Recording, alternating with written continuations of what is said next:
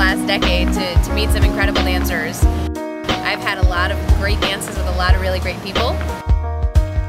Uh, the connection that I have with Keith, that's one of the things we're working on is to is to try to help recreate that for other people. Um, every dance we have is fantastic and I think it has a lot to do uh, with our connection. We really like breaking down technique, the mechanics that go into it. We also really love breaking down the concepts. How does a dance feel?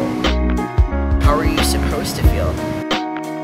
How are you going to make your partner feel the same way that you're feeling?